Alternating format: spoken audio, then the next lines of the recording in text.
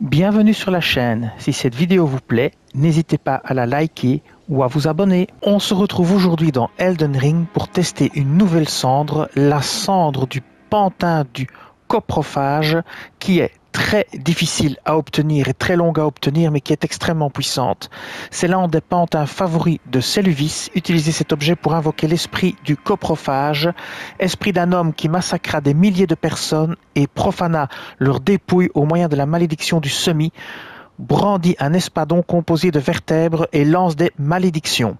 Alors, je vais vous montrer la malédiction qu'il lance tout de suite. C'est la même que une de celles qu'on possède. Le coprophage fut horrifié par son propre trépas. Malgré toute la laideur de ce pantin, sa détresse pousse à vouloir prendre soin de lui.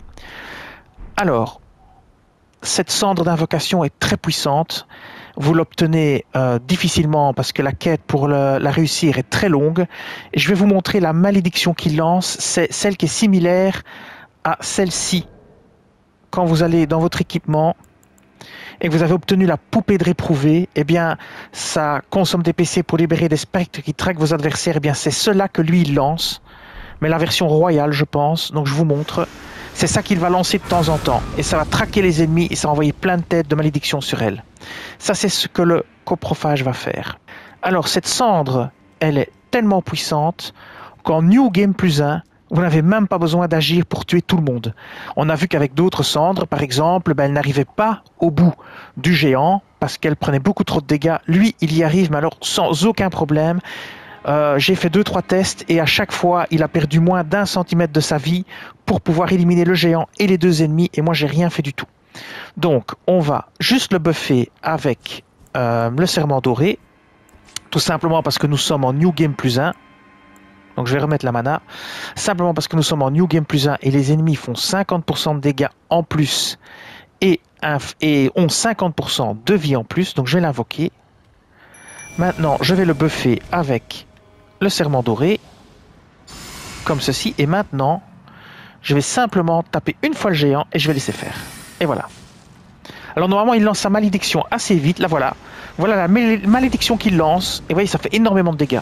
Blam, blam, blam, blam, blam, blam, blam, blam, blam. Vous voyez, il a déjà perdu un quart de sa vie, il a même pas encore pu taper le coprophage. Alors on va voir si on a moins ou plus de chance au niveau des dégâts que le coprophage va subir. Mais c'est vraiment très impressionnant. C'est vraiment une très très bonne cendre d'invocation. Elle garde très bien l'agro aussi.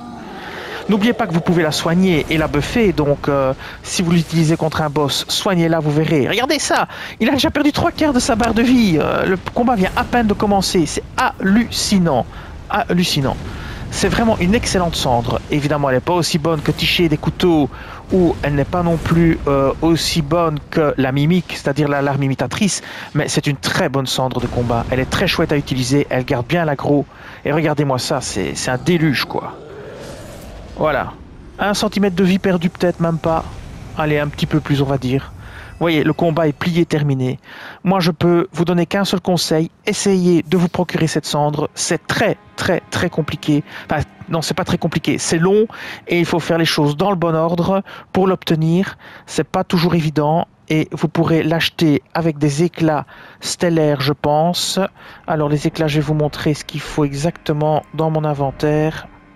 Voilà, avec des éclats de lumière stellaire, vous pourrez l'acheter. Donc vous devrez aussi en récupérer dans le jeu pour pouvoir acheter ce pantin, parce qu'il s'agit d'un pantin.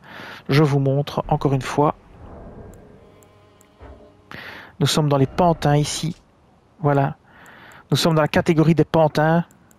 Et donc c'est le pantin du coprophage. Et voilà, je vous dis merci et à bientôt pour d'autres vidéos sur Elden Ring. Cette vidéo s'achève ici. Je vous dis merci et à bientôt sur la chaîne.